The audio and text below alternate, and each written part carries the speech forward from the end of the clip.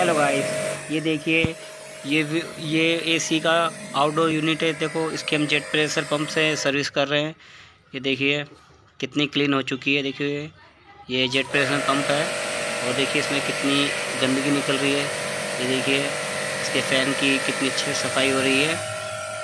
ये देखिए, आपको दिख रहा होगा, देखो कितनी गंदगी निकल रही है इसके अंदर से। ये अपना आउटडोर यूनिट है। और इसकी अच्छे से हम लोग सफ़ाई कर रहे हैं। इसकी सर्विस ऐसे होती है। इसकी टाइम पे टाइम पे सर्विस करवानी चाहिए। क्योंकि आउटडोर यूनिट बाहर की साइड होता है तो इसमें काफ़ी मिट्टी, धूल वगैरह रहती है। इसलिए इसके समय पे महीने छः महीने में एक बार इसकी सर्विस करवा लेनी चाहिए। गर्मी आने से पहले एसी चालू करने से पहले एसी की सर्विस करना ज़रूरी होता है।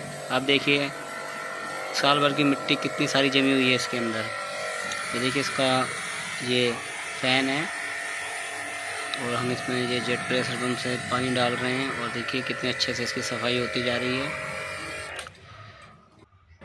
ये देखिए ये जेट प्रेशर पम्प है और देखिए ये अपना इंडोर यूनिट है। अब इंडोर यूनिट की हम सफ़ाई कर रहे हैं, जो ये रूम के अंदर लगता है।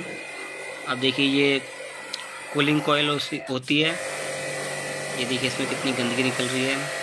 अब हम ये ब्लोअर में पानी मार रहे हैं। ये देखिए, ये इसका ब्लोअर होता है जो एयर फेंकता है। ये देखिए, इसमें से कितनी गंदगी निकल रही है। ये देखिए,